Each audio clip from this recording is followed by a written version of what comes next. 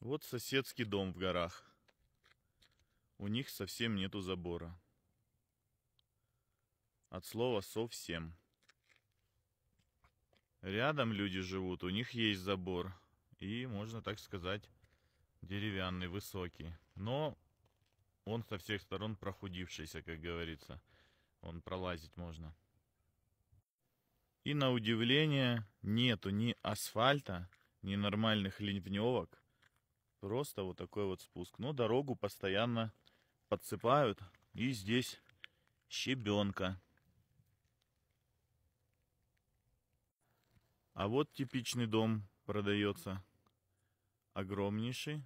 На два гаража. Его цена 560 тысяч долларов. И тоже, как видите, нету заборов. Просто лес. И вот такая красота. Горы. Никакого асфальта березки, кто скучает за родиной. Вот с другой стороны этот же дом, никакого забора, флаг американский штата Колорадо. Ну, если посчитать вот это ограждение забором, ну, наверное, скорее всего, чтобы дети не упали с горы. Цивилизация хоть и далеко, но вот у людей стоят солнечные батареи, а вдалеке красуется дом для себя сделали асфальтированную дорожку. Красота, жить можно в Америке. Все, здесь дорога заканчивается, тупик.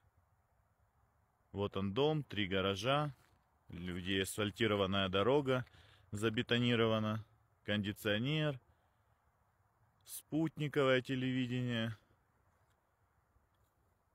И, по-моему, до этого дома газ не доведен. Вот в этой большой бочке газ приезжают, заправляют. И экономия электричества на электрических панелях. Но все равно красота, ребята, как вам кажется, оцените. Глушь, но жить можно. А кто спрашивал про животных, про оленей, про медведей, вот они прям ходят по над двором. И никто их не боится. И они никого не боятся. Главное, конечно, не делать резких движений, не убегать, не дергаться, потому что животное может воспринять это как опасность и напасть. Да, медведи тоже бывают приходят в гости, поэтому мусорки вокруг всегда огорожены, чтобы животным не было легко попасть в них. Но самый плюс, что здесь живешь с природой наедине, вдалеке от городской суеты.